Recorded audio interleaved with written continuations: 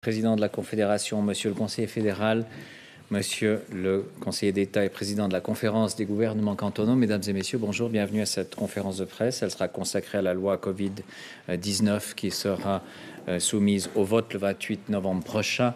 Monsieur le président de la Confédération s'exprimera, suivi de Monsieur le conseiller fédéral et du président euh, de la conférence des gouvernements cantonaux. Nous prendrons vos questions à l'issue des présentations. Monsieur le président de la Confédération, vous avez la parole. Merci, Monsieur le vice-chancelier, Monsieur le Conseil fédéral, Monsieur le président de la confédération, de la conférence, pardon, des dix recteurs cantonaux äh, des Kantons. Mesdames et Messieurs, am 28. November stimmen wir über das Covid-19-Gesetz ab. Es ist bereits das zweite Mal, dass wir über das Covid-19-Gesetz abstimmen. Beim ersten Mal haben die Stimmberechtigten im vergangenen Juni mit einem einer klaren Mehrheit von 60 Prozent das Gesetz gut geheißen. Nun stimmen wir Ende November über die Anpassungen vom 19. März ab. Dagegen haben die gleichen Kreise wie beim ersten Mal das Referendum ergriffen. La loi Covid-19 COVID est depuis une année l'instrument principal de nos efforts dans la lutte contre les conséquences sociales et économiques de la pandémie. Un grand nombre de personnes, d'entreprises de notre pays subissent de nombreuses conséquences négatives suite à la pandémie et aux mesures sanitaires prises par la Confédération. Celle-ci veut protéger les personnes les plus vulnérables, elle veut garantir le fonctionnement efficace de notre système hospitalier et sanitaire. Dès le début de la crise, nous étions conscients de la portée économique des mesures que le Conseil fédéral a été contraint de prendre. Et pour cette raison, le Conseil fédéral et le Parlement ont décidé de mesures de soutien pour un montant d'environ 70 milliards de francs, et cela inclut les moyens, par exemple, pour la RHT, la réduction horaire du travail de 20 milliards et 43 milliards pour les crédits cautionnés Covid-19. Plus de 100 000 entreprises ont bénéficié ou bénéficient toujours de l'aide financière décidée par la Confédération, que ce soit des PME, des grandes entreprises, des indépendants ou des personnes des organisations des domaines culturels ou sportifs. Mit der Änderung des Gesetzes im März 2021 hat das Parlament Finanzhilfen auf Betroffene ausgeweitet, die bis dahin nicht oder zu wenig unterstützt werden konnten. So wurden die Härtefallhilfen auf zusätzliche Unternehmen ausgeweitet, die wegen der Pandemie vorübergehend schließen mussten oder hohe Umsatzbußen erlitten. Ausgeweitet wurden unter anderem auch der Erwerbsersatz für selbstständige Werbende, die Kurzarbeitentschädigung, die Finanzhilfen für Institutionen der familienergänzenden Kinderbetreuung, oder die Finanzhilfen für Kulturschaffende. Außerdem regelt das Gesetz, wie überkantonale Publikumsanlässe entschädigt werden, die wegen Corona nicht stattfinden können. Nebst den Bestimmungen zu den finanziellen Maßnahmen nahm das Parlament am 19. März 2021 weitere Punkte in das Gesetz auf. Zum Beispiel das Zertifikat Herr Kollege Berset will davon gesprochen. Das Zertifikat spielt bereits heute insbesondere im internationalen Personenverkehr eine wichtige Rolle und wird es auch noch eine Weile tun. Es erleichtert das Reisen ins Ausland und den Aufenthalt. Es erleichtert auch das Reisen in der Schweiz. Das ist für ein so stark vernetztes Land wie die Schweiz wirtschaftlich und gesellschaftlich sehr wichtig. Das ist auch für die Schweiz als Tourismusland von großer Bedeutung. Lassen Sie es mich hier wieder einmal klar sagen. Die Tourismusbranche und damit auch die Gastro- und Hotelleriebranche stehen nach wie vor unter Druck. Bis zu einer weitgehenden Erholung wird es hier noch einige Zeit dauern. Wir haben alle ein großes Interesse, dass unser Zertifikat kompatibel ist mit dem Zertifikat der EU.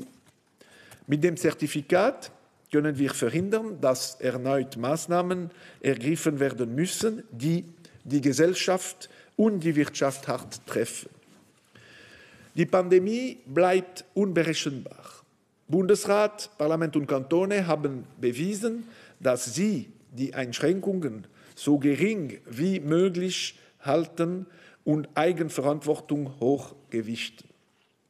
Die Einschränkungen waren in der Schweiz weniger stark als in vielen anderen Ländern, auch wenn es Menschen in der Schweiz gibt, die das nicht so sehen.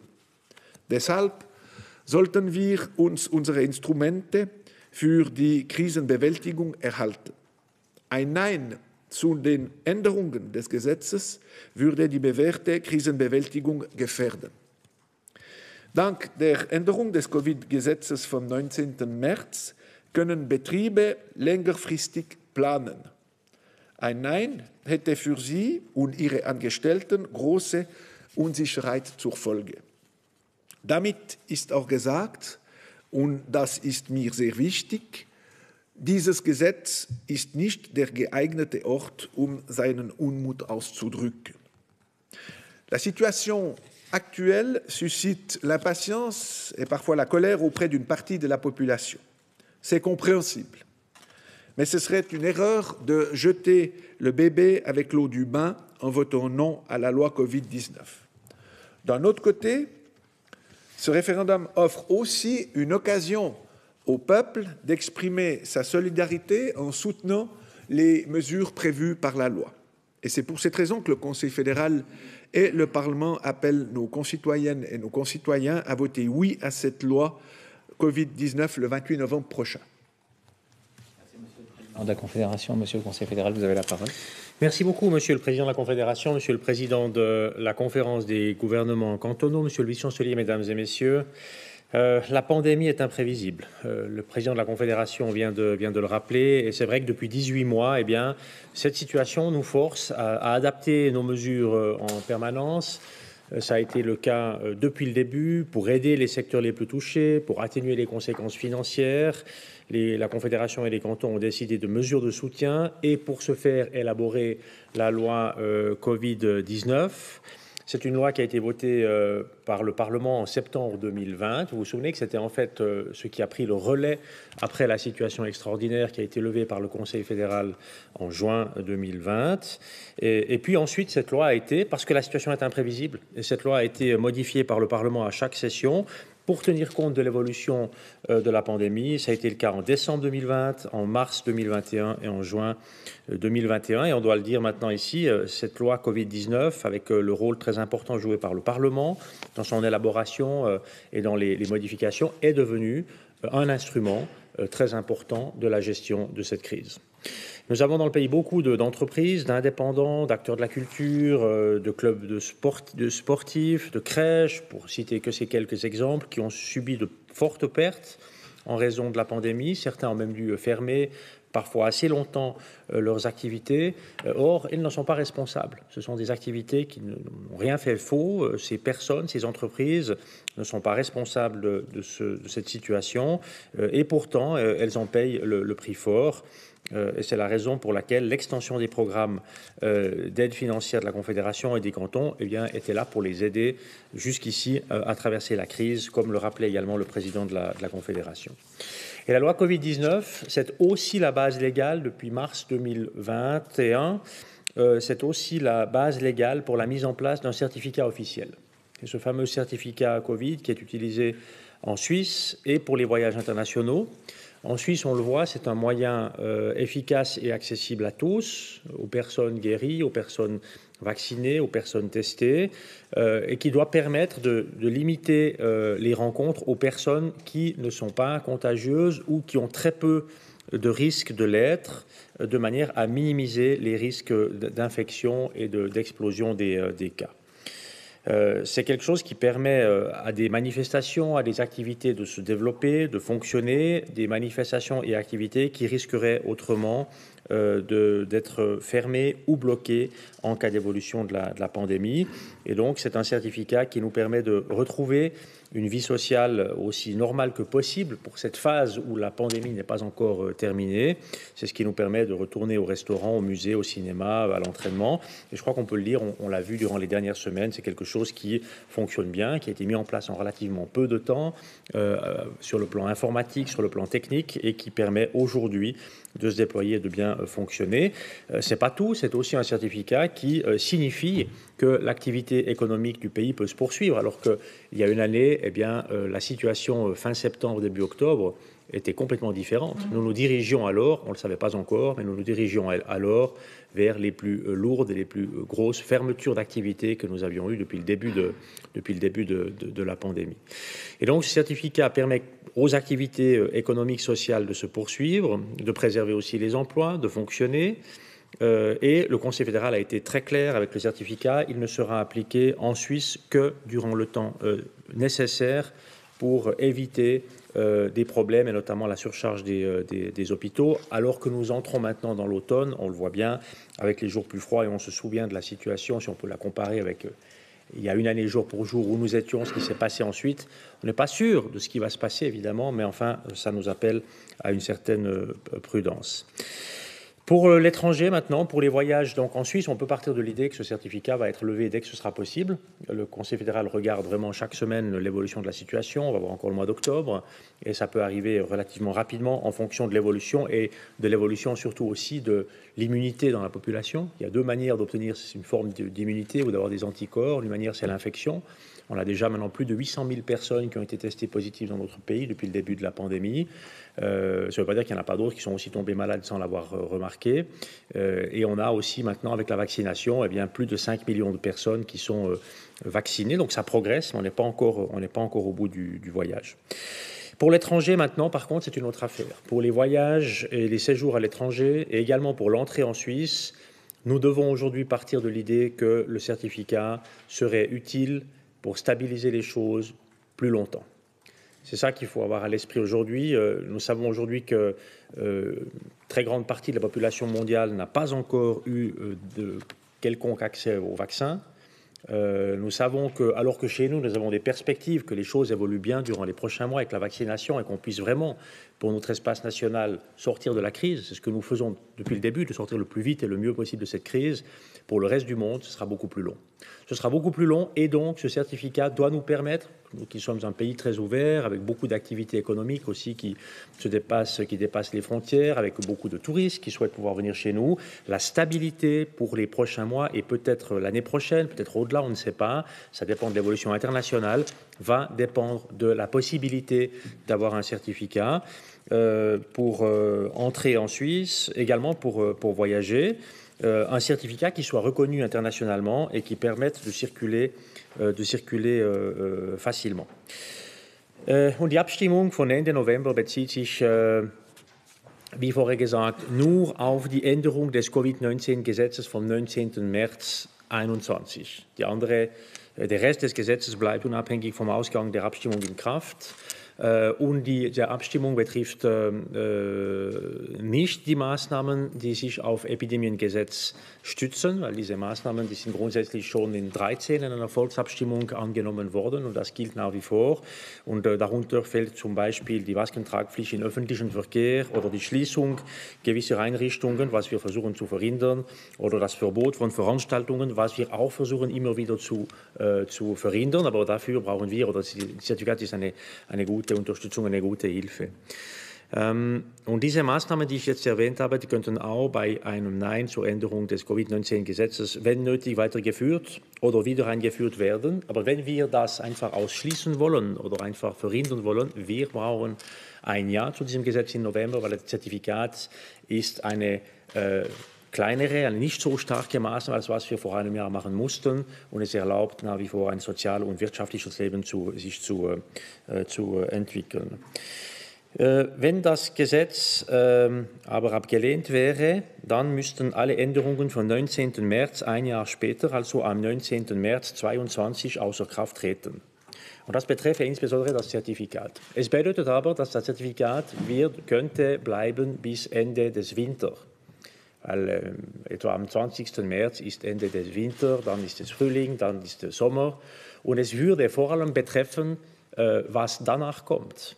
Und was danach kommt, ist das, äh, ja, das Nutzen oder das Wir haben von einem Zertifikat, der international anerkannt wird, um einfach Stabilität für unsere internationale Beziehungen zu haben.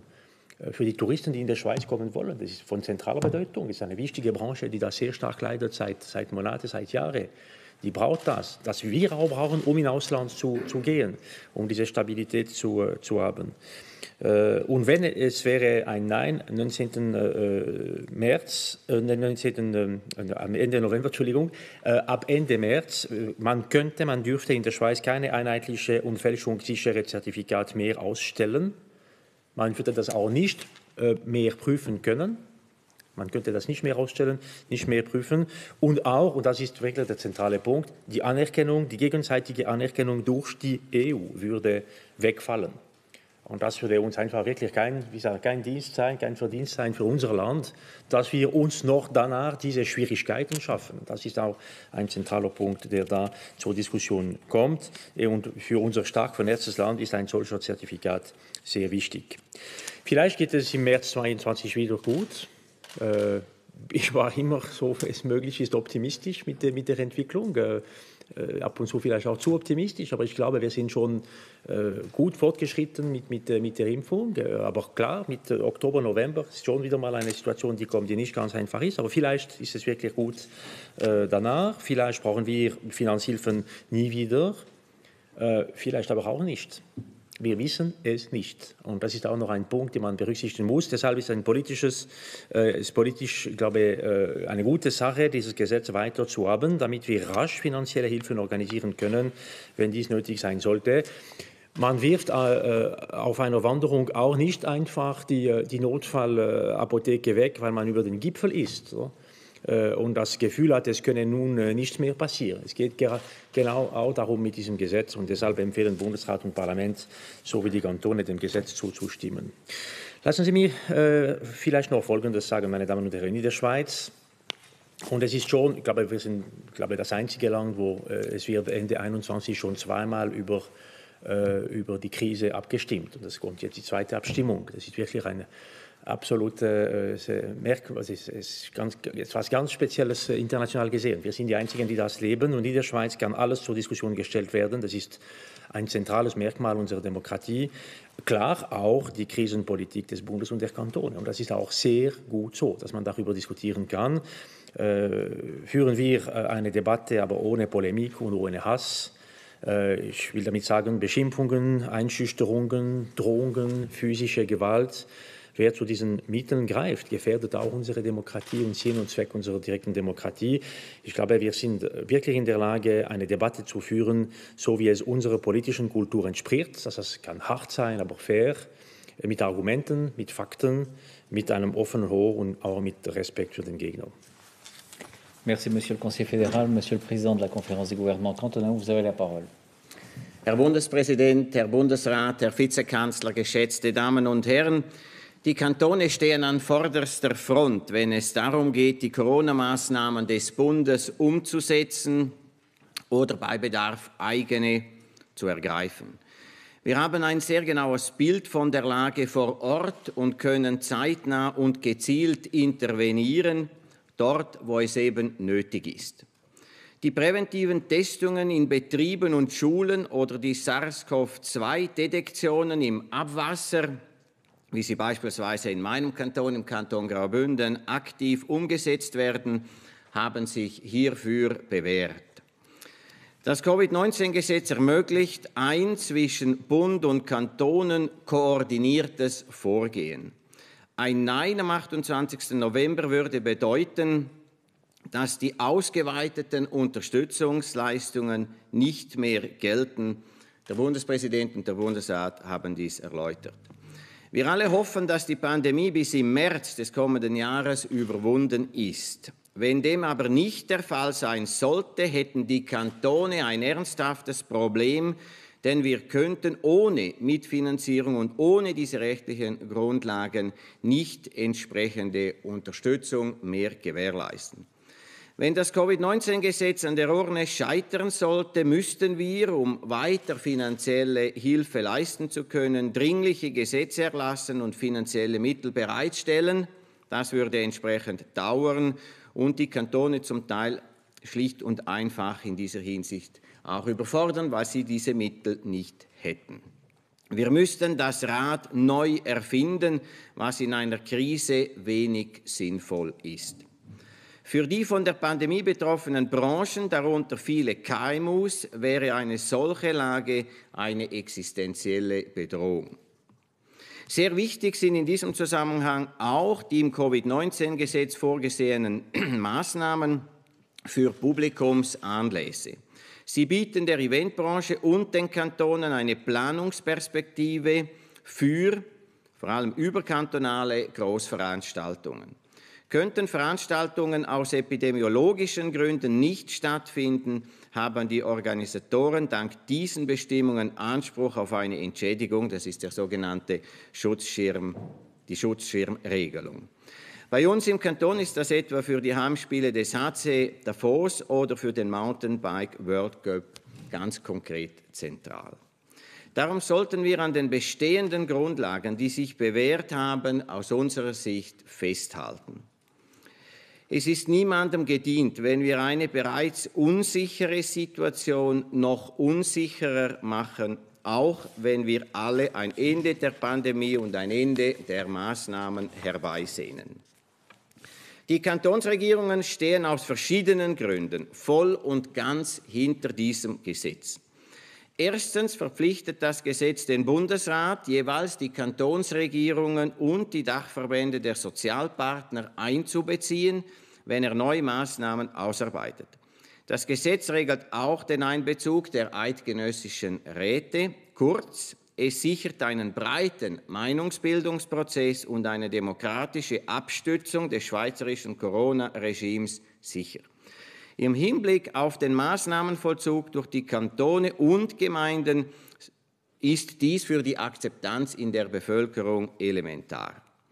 Zweitens, das Covid-19-Gesetz schafft eine gesetzliche Grundlage, damit der Bund Covid-Tests fördern und die ungedeckten Kosten tragen kann. Dies entlastet die Kantone. Es ermöglicht dem Bund zudem, die Kantone auch beim Contact Tracing zu unterstützen.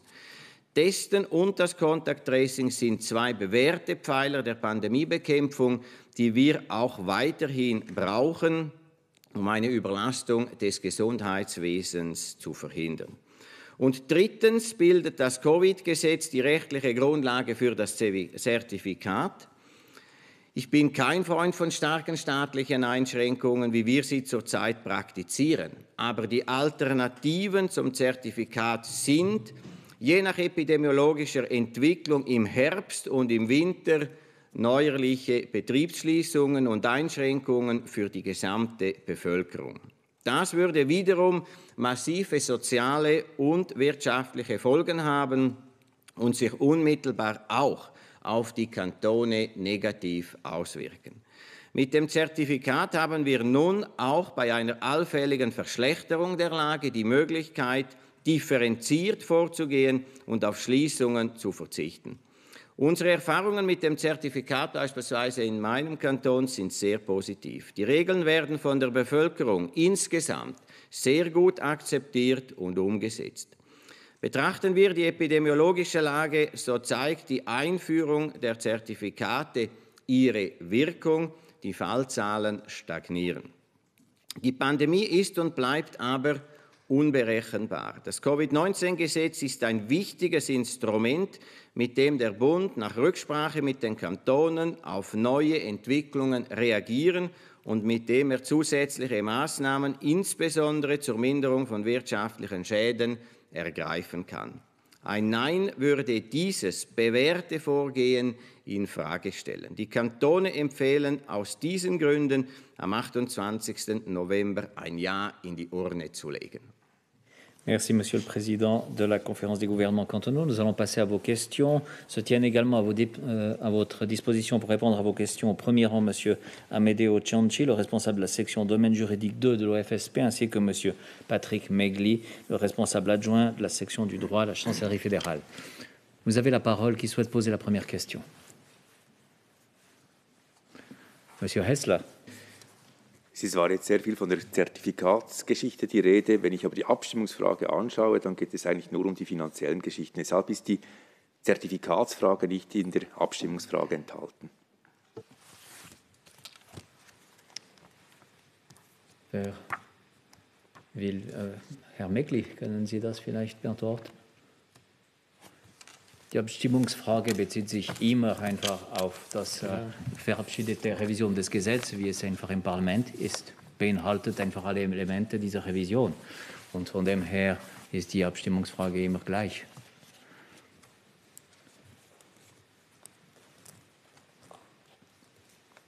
D'autres questions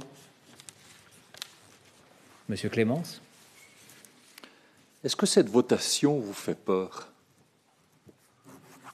Non, je crois pas. Je crois qu'il faut toujours du respect quand on va dans une votation populaire. Ici, ce qu'il faut faire, et ce que le Conseil fédéral souhaite, c'est expliquer calmement les faits, quelles sont les conséquences en cas de refus de cette loi? Et c'est ce que nous avons fait, M. Berset et moi, de manière la plus large possible tout à l'heure en dans nos introductions, c'est expliquer rationnellement les conséquences que ça pourrait avoir dans le secteur du tourisme, de l'économie qui touche mon département, par exemple, avec euh, euh, les aspects euh, de la prolongation à 24 mois, par exemple, de la RHT, c'est ce, qui est, en jeu. Ici, vous avez aussi l'indemnisation des organisateurs de manifestations. Je crois qu'il faut qu'on explique aux citoyennes et citoyens quels sont les enjeux de cette votation, et nous le faisons alors avec euh, tout le respect euh, qu'il aurait dû, parce que c'est quelque chose d'extrêmement complexe. Ce n'est pas quelque chose de simple à percevoir. Et surtout, euh, ça serait faux de simplement se laisser entraîner par les émotions. Donc, pas peur, mais beaucoup de respect par rapport à, aux deux mois qui viennent pour expliquer les enjeux à la population. Monsieur Radgeb, en complément. Ja, wir haben in den Kantonen schon Respekt vor dieser Abstimmung. Sie würde uns den Teppich sozusagen unter den Füßen in dieser Krisensituation wegziehen, weil dieser Teppich eine gewisse Sicherheit gibt der Instrumente, die wir haben, um unsere Aufgabe wahrzunehmen. Wir wären gefordert, entsprechend in den Kantonen ja zu versuchen, mit eigenen Gesetzen diese Unterstützung, diese Vorgehensweisen dann abzusichern. Und Sie wissen alle, wie lange es geht, wenn es überhaupt dann rechtlich möglich wäre, sozusagen in die Bresche zu springen. Und darum haben wir großen Respekt und ist es uns wichtig, dass wir hier Bund und Kantone äh, gemeinsam aufklären, was die Folgen eines Neins in dieser schwierigen Situation, in der Krise, äh, dessen Ende wir alle erhoffen, aber noch nicht äh, konkret absehbar ist, darstellen würde. Monsieur Abrecht. Ja, der Bundesrat hat uns jetzt über die Folgen informiert. Gibt es aber diesbezüglich auch einen Plan B? Sollte das Gesetz scheitern? Die ähm, Gegner des Gesetzes führen ins Felde, dass man zum Beispiel fürs Reisen die Zertifikatspflicht freiwillig ähm, anbieten können. Was ist hier, was wäre hier die Strategie des Bundesrates? Ich glaube, das wäre auch eine Antwort, die die Spezialisten bringen können. Wir gehen davon aus, dass wenn äh, ein Nein kommt Ende November, die gesetzliche Grundlage für die Erstellung von Zertifikate und für Anerkennung, die fällt weg. Das heißt, der, der, Bund hat einfach keine Grundlage, um zu handeln und kann daher nichts tun. Gehe ich davon aus. Es wäre wirklich weg. Die einzige Möglichkeit, es wieder mal zu entwickeln, wäre trotz Nein der Bevölkerung zu sagen, wir werden trotzdem wieder mal versuchen, ein Zertifikat einzuführen. Aber dann ist es ausgeschlossen, dass es wieder mal per, per, per Dringlichkeit oder dringliches Recht mal kommt. Und das würde bedeuten, danach muss man wieder mal versuchen, ein Projekt zu tun, zu entwickeln mit äh, normaler Vernehmlassung, dann mit äh, Diskussion in beide Räte und dann, wenn die beiden Räte das trotz äh, Nein des Volks trotzdem mal wieder mal zustimmen, dann es gibt eine Referendumsfrist von drei Monaten und dann Inkraftsetzung. Das ganze Prozess nimmt viel Zeit und es würde damit einfach ausgeschlossen sein, damit dass irgendwelche Grundlage schon für 22 bestehen könnte. Es ist faktisch unmöglich. Das heißt, nein, es gibt keinen Plan B in dem Sinn. Monsieur Jubin On a vu hier. On a vu hier, Monsieur le Conseiller fédéral, que les Suisses ont voté contre la discrimination. Euh, que répondez-vous à ceux qui disent que le certificat discrimine les non-vaccinés? Prends volontiers la, réponse. Je crois que le certificat, en fait, pour un temps, et un temps qui sera aussi limité que possible, il faut pour cela qu'on puisse accéder à cette immunité suffisamment large dans la population pour qu'on puisse lever les mesures. Et je vais vous rappeler ici que des pays l'ont fait. Des pays l'ont fait, ils ont environ 20 à 25% de, personnes vaccinées en plus par rapport à nous et ils ont levé toutes les mesures. C'est ça que nous souhaiterions également pouvoir, pouvoir faire. Et dans l'intervalle, euh, le certificat est accessible à toutes et à tous. Il suffit, c'est, n'est pas euh, un certificat qui exclut, on peut y accéder par différentes manières. Pour celles et ceux qui ont malheureusement eu une infection et qui ont le statut de personne guérie, eh bien, on peut l'avoir. Pour celles et ceux qui font le pas de la vaccination, on peut l'avoir. Et pour celles et ceux qui ne veulent ni l'un ni l'autre, on peut se tester et l'avoir également. Madame Balamo Merci. Monsieur le conseiller fédéral Berset, vous commencez à avoir une certaine expérience dans les référendums sur les lois Covid. Euh, or, au mois de juin, euh, il y a eu 60% d'acceptation alors qu'il y avait les aides financières en pleine crise. Il n'y avait pas le pass Covid, ça vous laisse pas beaucoup de marge. Euh, comment vous pensez mieux convaincre cette fois-ci? Tout d'abord, on est trois ici, donc je ne suis pas tout seul, heureusement, dans cette situation. Le président de la Confédération, l'ensemble du Conseil fédéral, la totalité des cantons, je crois les milieux économiques, les milieux touristiques, les milieux sportifs, les milieux culturels ont un intérêt quand même assez important à ce qu'on ait euh, non pas un facteur d'instabilité dans la crise pour l'année 2022, mais un facteur de stabilité, notamment pour ce qui concerne les contacts internationaux, parce que c'est de cela dont il est question essentiellement. Euh, les votations ne permettent pas de régler le passé, elles permettent de régler l'avenir. Et euh, en l'occurrence, la votation de novembre réglera ce qui se passera au-delà du 19 mars 2022, à un moment où très vraisemblablement le certificat n'aura d'utilité plus que sur le plan international. Je le, formule ainsi parce que je pense que c'est la réalité, je pense que c'est la vérité. On verra bien en mars où nous sommes, mais je pense que c'est le cas. Et à partir de là, je crois qu'il faut simplement expliquer, comme ça a été fait aussi euh, tout, à l'heure, euh, que ce facteur de stabilité et de contact international, il est important pour nous pour pouvoir voyager, pour pouvoir euh, fonctionner aussi sur le plan économique, pour pouvoir avoir ces échanges, pour que les touristes puissent venir euh, chez nous dans de bonnes, dans de bonnes conditions.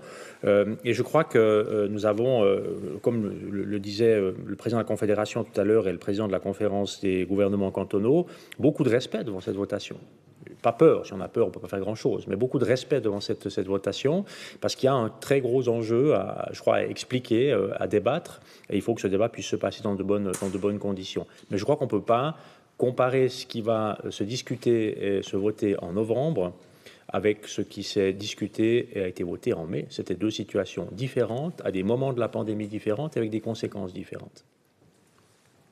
Monsieur Hessler. Sie haben gesagt, es gibt keinen Plan B. Ähm, wenn ich aber gut zuhöre, dann ist der Plan B, wenn das Gesetz runterfällt, dann bleibt das Zertifikat bis zum 19. März in Kraft. Ist das korrekt? Äh, wenn ich die Frage richtig verstanden habe, ja. Ich meine, ein Gesetz, ein dringliches Gesetz bleibt in Kraft ein, bis ein Jahr nach der äh, ja, Abstimmung im, im, Parlament und danach fällt weg. Maximal ein Jahr. Das heißt, die gesetzliche Grundlage für ein Zertifikat, die würde bis am 19. März äh, 2022 bleiben. Das bedeutet aber sicher nicht, dass die Zertifikatbenutzung in der Schweiz so lang bleibt. Zuerst mal ist es begrenzt am äh, Mitte oder kurz nach Mitte Januar. Und es ist gut möglich, wenn die Situation sich gut entwickelt, dass es vorher auch aufgehoben wird. Das bleibt unser Entscheid. Aber im Fall von Nein, es bleibt äh, spätestens, die Grundlage bleibt spätestens bis am 19. März, was mal faktisch unmöglich macht, dass man eine Anerkennung äh, mit der EU nach dem 19. März noch, noch hat. Und äh, das macht auch unmöglich, dass man nachher auch noch Zertifikate heraus, äh, herausstellen kann. Ich glaube, aber das war ein bisschen eine juristische Frage. Ich hoffe, ich habe das gut, gut erklärt. Danke. Monsieur Bislinger. Euh, oui, Monsieur Parmelin, vous parlez de, de l'importance d'expliquer calmement les faits, Monsieur Berset de, de débattre. Euh, mais est-ce que vous avez l'impression que les référendaires et leurs soutiens sont, sont toujours prêts à, écouter et à débattre, justement? Bon. quand il y a un référendum, c'est qu'il y a une loi qui est contestée, certaines mesures qui sont contestées. Et puis vous avez ceux qui contestent naturellement, puis vous avez les, les votants, les, citoyennes et citoyens qui, sur le moment, n'ont pas euh, connaissance totalement du dossier et auxquels il faut expliquer les, les enjeux. Qu'est-ce qui se passe concrètement? Si cette loi est refusée Quelles pourraient être les conséquences euh, de façon à ce que chacun dans ce pays et chacune puisse, euh, en toute connaissance de cause, faire cette euh, pesée d'intérêt. C'est dans ce sens-là, je crois qu'il faut comprendre l'engagement du Conseil fédéral. Et là, il y a, des éléments de loi qui ont été développés, qui tomberont, le cas échéant, avec le nom. On parle beaucoup du certificat, mais il y a d'autres choses. Maintenant, est-ce que ça va faire changer d'avis? Certains qui ont peut-être signé le référendum ça, c'est les débats et la discussion euh, qui va précéder la votation qui nous le montrera.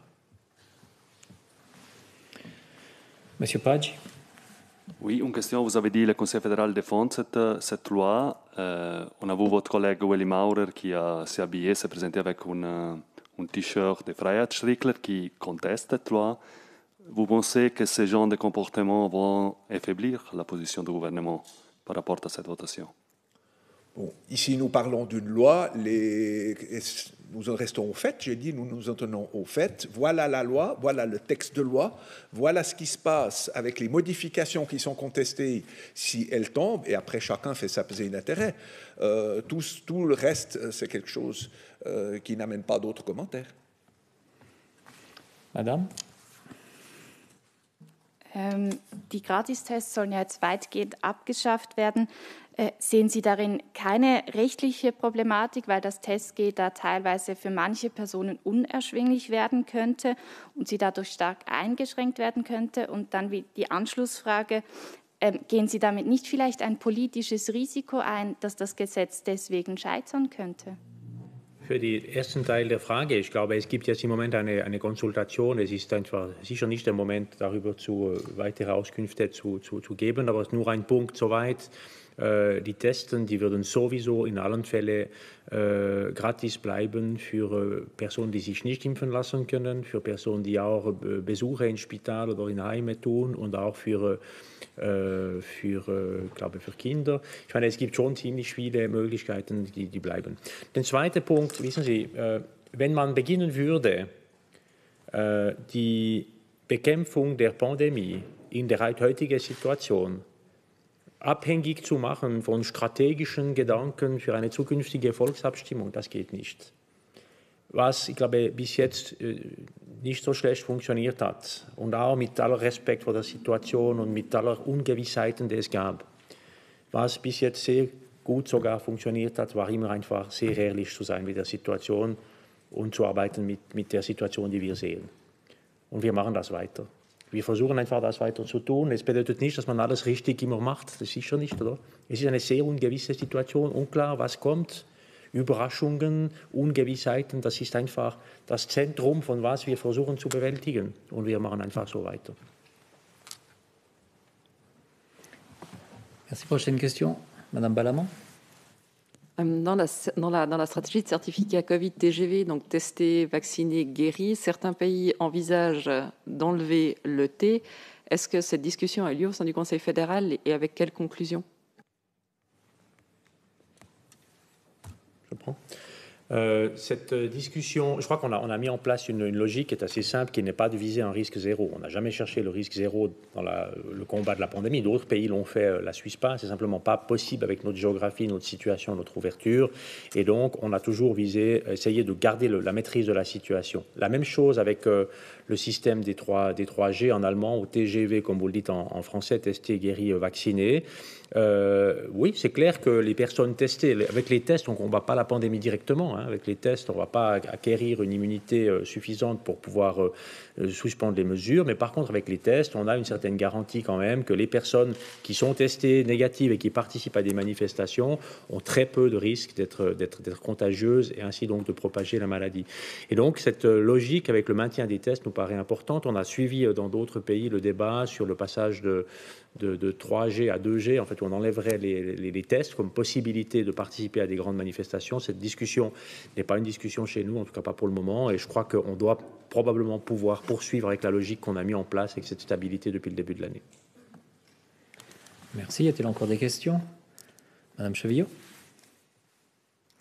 Un des points paradoxaux des modifications du 19 mars, c'est sur les droits euh, supplémentaires et extraordinaires du Conseil fédéral, en fait.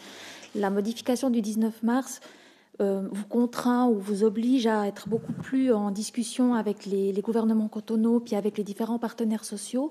Donc si la loi est refusée, ça, ça tomberait. Ça veut dire que vous auriez de nouveau la possibilité de partir sur des articles de loi ou sur des choses beaucoup plus euh, directes et sans échange avec les cantons, par exemple. C'est une très bonne question. Je suis un peu, un peu, un peu dépassé par les conséquences sur ce plan-là. Je ne sais pas si euh, du côté des spécialistes, une réponse serait possible. Disons, la différence peut-être, c'est que dans la loi Covid, effectivement, il y a des consultations des partenaires sociaux, des commissions parlementaires, des gouvernements cantonaux qui sont prévus. Je n'avais pas en tête que ça avait été introduit qu'en mars. Mais effectivement, si c'est non, ça tomberait, si c'est le cas. Euh, par contre, dans la loi sur les épidémies, euh, on a le besoin de travailler avec les cantons, mais dans une forme qui n'est pas aussi précise ce qui nous avait permis au tout début d'ailleurs de travailler toujours en très bonne entente avec les cantons, mais dans des formes qui ont parfois été euh, liées à l'urgence de la situation. Spécialiste. Euh, Monsieur Megli. Drücken, einfach festdrücken. Ja. Ja, Entschuldigung. Ähm, stimmt, dass die ähm, Bestimmung Artikel 1 im März nochmal angepasst wurde, aber es war schon vorher drin, äh, die Konsultation der Kantone und das würde auch äh, nachher weiterhin so bleiben. Es wurde einfach präzisiert im März. Merci. Y a-t-il encore des questions? Si ce n'est plus le cas, nous concluons cette conférence de presse ici. Je vous remercie d'y avoir participé. Vous souhaite une excellente semaine.